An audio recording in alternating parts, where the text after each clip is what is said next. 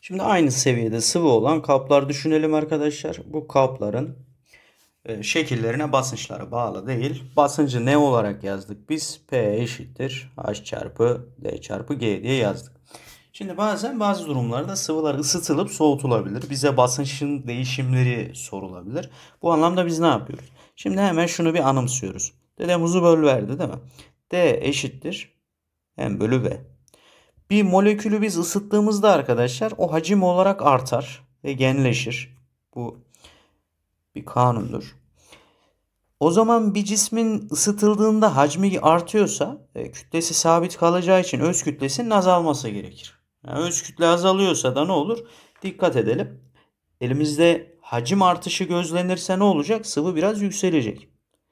Sütü düşünün mesela ocağa koyduğunuzda süt taşar arkadaşlar. Veya suyu kabın ağzına kadar doldurun. Kabın genişlemesinden sıvının genleşmesi daha fazla olduğundan dolayı sıvı taşar. Burada bir miktar sıvının yükseldiğini gözlemleyeceğiz. Ne olacak? Buranın HDG'sini bir yazalım şöyle. HDG'de H ne oldu arkadaşlar? Arttı değil mi? Şimdi hacmi arttığı zaman öz kütleyi ne yapıyorduk? Azaltıyorduk. O zaman bunun öz kütle azaldı. E bu da sabit bir sayı zaten. Yer çekimi ivmesi. Aynı oranda artış, aynı oranda azalış gözlemlenecek düzgün kapta. O yüzden L noktasındaki basınç herhangi bir şekilde sıvı artış, e, sıcaklık artışı veya azalışında ne olacak? Değişmez diyeceğiz. Bunu yazdık.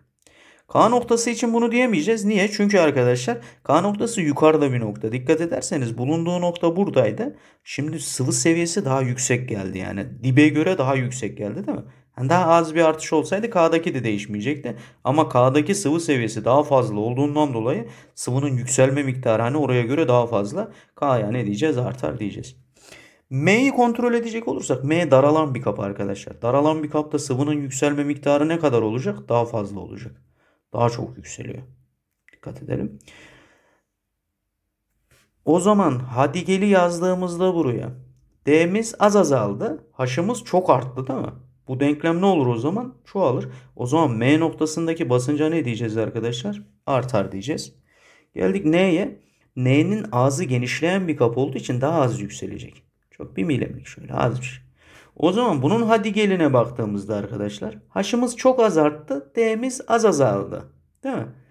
D'miz azaldı. Haşımız çok az arttı. O yüzden basıncımız burada ilk duruma göre ne oluyor? Azalmış oluyor diyeceğiz. Şöyle bir manometre sorusu var. Diyor ki kapalı ve açık uçlu borularda oluşturulan sistem dengededir. Bu, bu sistemin bulunduğu ortamdaki açık hava basıncı 75. Şuraya gelin. Hemen 75'i yazın. Açık hava basıncını ne diye gösteriyorduk biz? P0 şeklinde gösteriyoruz. Bu santimetre civar cinsinden. Sistemin bulunduğu ortamda 75'lik e, açık hava basıncı var. K gazının basıncı da 90. Ne diyorsunuz siz? Hemen gelip artık şuraya 90'ları yapıştırıyorsunuz değil mi?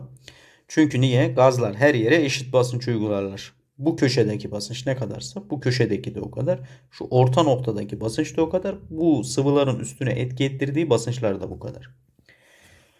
Bir basınç farkı yok. Ee, sistem dengede dediği için arkadaşlar bir basınç farkı yok. Bu sıvı ne yapıyor biliyor musunuz? Şu, e, bu sıvının üstüne etki eden buradaki basıncı alıyor. Aynen getiriyor. Tam şunun üstüne Tam şu noktaya getiriyor işte 90 santimetre civa olarak getiriyor. O zaman üstten de aynı basınç gelsin ki hani üstten toplam basınç da 90 olsun ki diyoruz biz birbirini dengelesin. Ne diyoruz yani kısaca şuraya A diyoruz hani hatırlayın şuraya da B. A noktasındaki basınçla B noktasındaki basıncı birbirine eşitlediğimizde olay bitiyor. Aşağıda ne kadar basınç etki ediyor A noktasında? 90. Başka bir basınç yok. B noktasında ne kadar bir basınç var? Üstte bir sıvı var dikkat ederseniz. Ne sıvısıymış? Civa. Civa olduğu için bunun birimi de santimetre civa olduğu için hani şeye gerek yok. HDG yazmanıza gerek yok demiştik. 3H bölü 2 artı diyoruz direkt.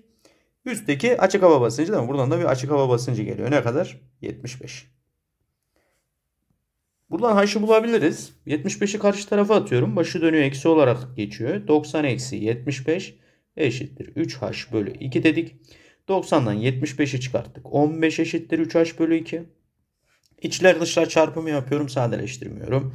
30 eşittir. 2 kere 15 30. 3h. Bunun payda da 1 vardı.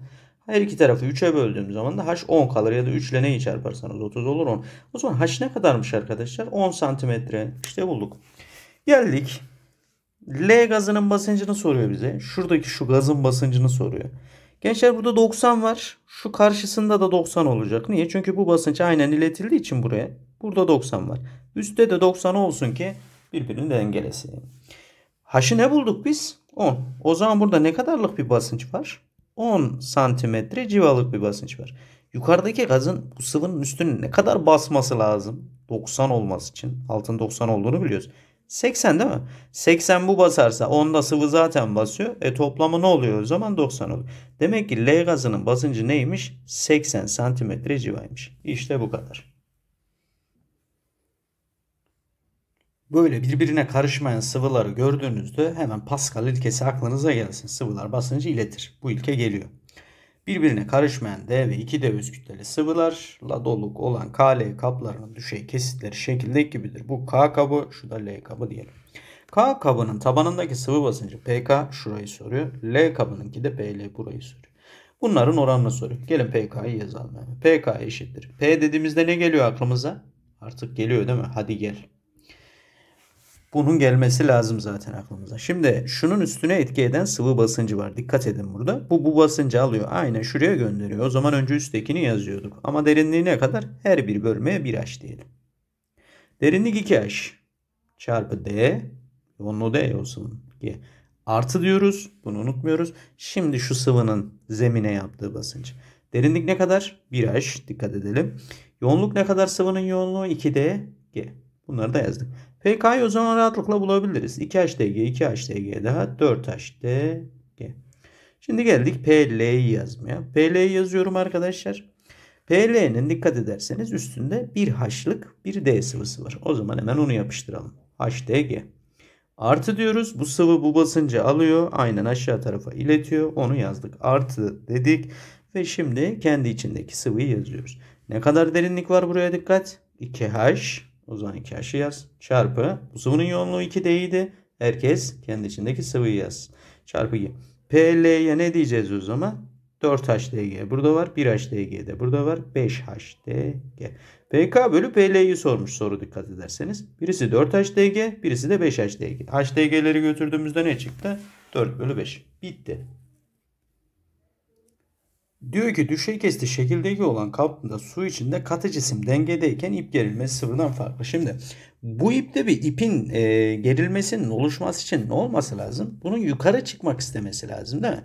Hani tahta maddeyi böyle suyun içine bağlarsanız ne olur? Suyun üstünde yüzmek ister ve ipi gerer değil mi?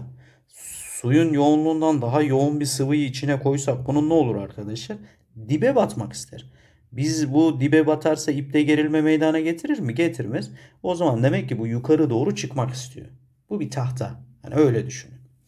Ya da işte içinde hava olan bir e, esnek balon. Gerçi o balonda kare şeklinde olmaz ama neyse tahta diyelim. İçinde hava bulunan bir madde diyelim. Önemli olan bunun yüzeye çıkmak istemesi yani.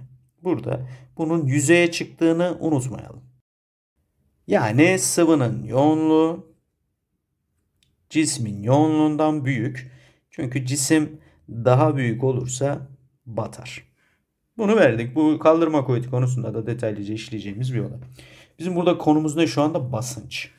İp gerilmesini sıfırdan farklıdır demiş bu yüzden. İpi kesilip cisim dengeye gelirsin. Hmm. Şimdi bu ipi kestiniz.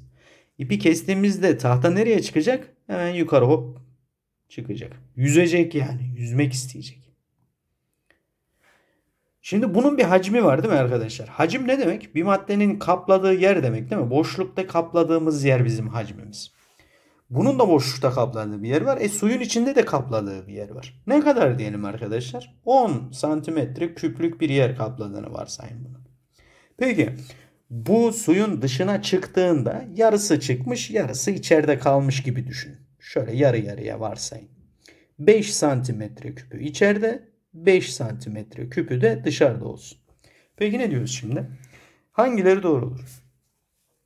Yükseklik azalır demiş bak su yüksekliği. Doğru mu? Kesinlikle. Niye diyeceğiz? Çünkü arkadaşlar bakın demin içeride ne kadarlık bir cisim vardı? 10. Sıvı ona göre yükselmişti değil mi? Hani yüksekliği ona göreydi. E sıvının içinde şimdi kaç santimetre küp var? 5. O zaman 5 santimetre bir azalma var değil mi? 5 santimetre yukarıda şu anda bak havaya çıktı dikkat edin. O zaman sıvının seviyeyi ne yapıyoruz arkadaşlar? İndiriyoruz. İnecek. İster istemez inmesi gerekiyor. Kap tabanındaki sıvı basıncı azalır. E sıvı basıncına siz ne dediniz? Hadi gel. Bakalım. Peki yoğunluğu değiştirdiniz mi sıvının? Değiştirmediniz. Ortamı değiştirdiniz mi? Ay'a, Mars'a falan götürdünüz mü? Kutuplara, ekvatora yok. Neyi değiştirdik? Haşı. Haşı ne oldu? Azaldı değil mi? O zaman basınç ne olacak? Azalacak. Kap tabanındaki sıvı basıncı azalır mı? Güzel. Azalttık. Sıvı basınç kuvveti. Basınç kuvvetine ne demiştik? Sıvının ağırlığı ya da hadi gel. H, D, G, S. Kabın taban alanını S diyoruz mesela. Bu alan. Hani oradaki. Alanı değiştirdiniz mi? Hayır. Ortamı değiştirdik mi?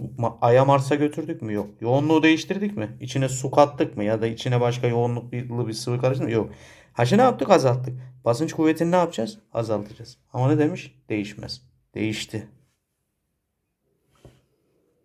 Düşey kesit şekilde gibi olan eşit hacim bölmeli kapta ideal bir piston F kuvvetiyle dengelenmiş. Pistonu L seviyesinde dengede tutabilecek kuvvet kaç F'dir? Şimdi biz ne dedik bu konuyu anlatırken bakın. Burada bir basınç var. Ne basıncı? Katı basıncı değil mi? Çünkü bu noktada bakın. Bir, katı, bir tane kuvvet var. Etki eden bir kuvvetimiz var şurada. Bir de burada bir alan var. Ne, ne kadarlık bir basınç var diyelim. F bölü. Buranın alanı da A olsun arkadaşlar. Şunun alanına A diyelim. Ya da 2 birim demeyin A deyin. Eşit olacak. Neyi dengeliyor bu? Şimdi o önemli. Bu F bölü A'nın seviyesini kontrol ediyoruz. Bak bu seviye. Şu noktada bir sıvı basıncı var. Bak bunun ortalama bu noktadakine eşittir bu. Tam orta noktası bu nokta. Bu noktadaki sıvımızın derinliği ne kadarsa o basınca eşit olacak. Çünkü basınçlar tam orta noktasında eşit olursa dikkat edin tam şuradaki basınçla şuradaki basınç eşit olursa piston ileri veya geriye gider mi? Gitmez. Basınç farkı yok çünkü. Dengeledik. F bölü A ne o zaman neye eşit? Şu her bir bölme H diyorum.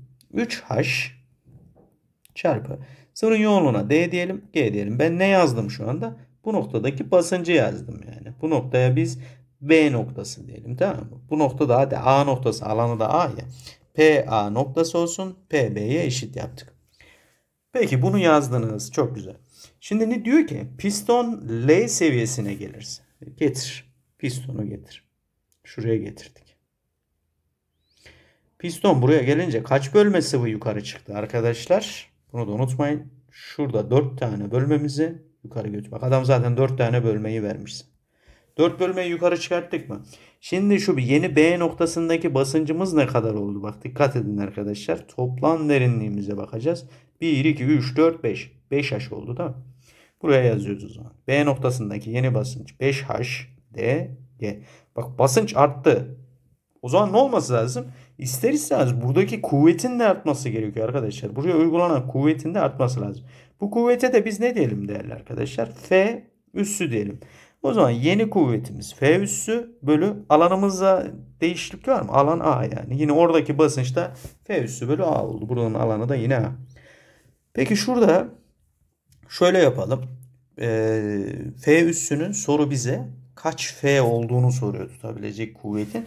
Kaç F olduğunu soruyor. HD gelir bizim yok etmemiz lazım arkadaşlar. Şu denklemimizde her iki tarafı 3'e bölmek istiyorum. Ya da 1 bölü 3 ile de çarpabilirsiniz. Şu üçleri götürdük.